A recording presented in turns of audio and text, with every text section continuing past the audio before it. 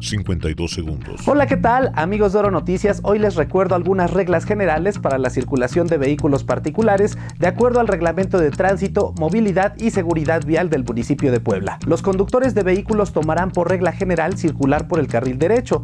Esto permitirá adelantar a otro vehículo, circular por el lado izquierdo en caso de que el extremo derecho esté obstruido y también dar vuelta a la izquierda. Mucha atención.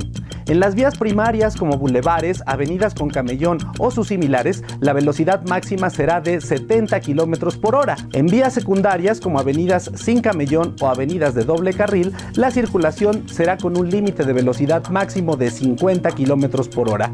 Evita infracciones y accidentes. Recuerda que la vialidad es un espacio para todos. Yo soy Beto Castillo y estos son 52 segundos.